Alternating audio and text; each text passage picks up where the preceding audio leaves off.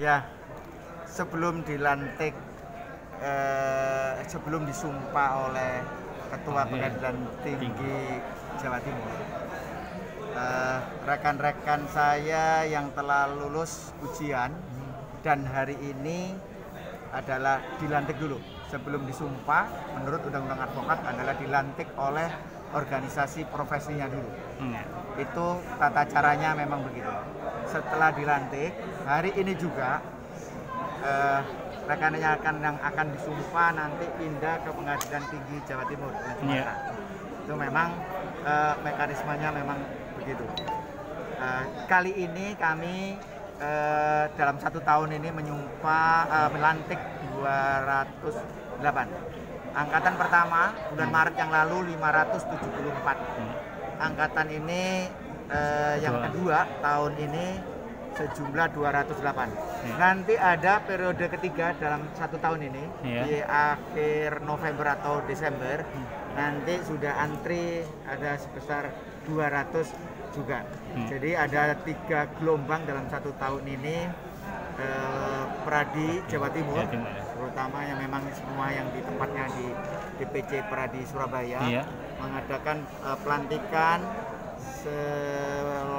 sebesar pertama 574, 208 Hmm. hari ini besok juga 200 sudah antri untuk eh, nunggu tanggal, bulan dan waktu eh, tahunnya saja. Iya. Insya Allah akhir eh, nggak sampai akhir Desember, Desember. sudah ada pelantikan lagi. Kalau tadi ada beberapa peserta yang tidak hadir itu gimana? Ah, Sakit atau gimana, Pak? Ya, ada yang sakit, Ya. Ada yang eh, berhalangan, Tidak lulus atau gimana, Pak? Oh enggak, Oh. yang yang terdaftar di sini tadi yang nggak hadir pun sudah lulus. Oh, lulus. Namun untuk memenuhi syarat penyumpahan itu kan Iya. harus dilantik. Iya. Nah, dilantiknya juga harus hadir. Kalau nggak hadir nggak bisa disumpah juga. Hmm.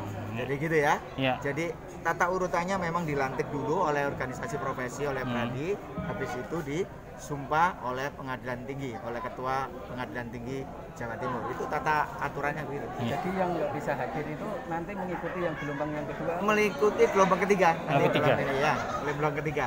Ya. Harapannya, Pak, dari pengangkatan yang ini? Ya saya kira kami eh, mengucapkan syukur alhamdulillah karena masyarakat tahu bahwa kamilah yang memang mempunyai delapan kewenangan apa yang diamanatkan oleh Undang-Undang Advokat dan Hmm. sesuai dengan putusan Mahkamah Konstitusi. Hmm. Ada beberapa putusan Mahkamah Konstitusi yang menyatakan bahwa peradilan satu-satunya ingat ya, Iya. peradilan satu-satunya wadah organisasi profesi advokat. Hmm.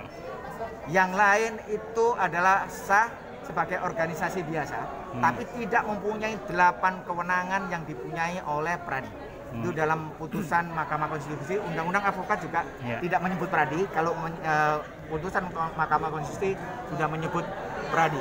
Jadi yang lain itu hanya eh, sebagai organisasi biasa yang Ya. tidak mempunyai delapan kewenangan. Kita bisa lihat bahwa di kita delapan kewenangan itu mulai pendidikan PKPA.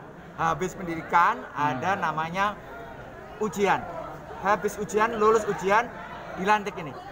Dilantik dan disumpah oleh. KPT.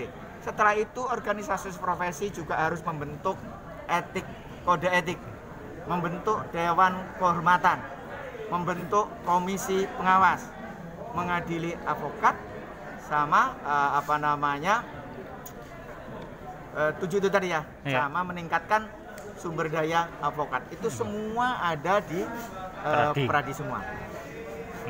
Ya. Kita eh, bukan apa-apa ya, kita supaya masyarakat tidak bingung kok kenapa kok sekarang banyak organisasi profesi yang kami tegaskan di sini adalah peradilan satu-satunya yang punya delapan kewenangan itu. Baik. Ya. Baik, terima kasih, Pak. Pradi nasional lima eh, lima puluh lima ribu, lima puluh lima ribu. Surabaya dua ribu, dua ribu. Ya, Baik, terima kasih, Bapak. ya, ya. Namun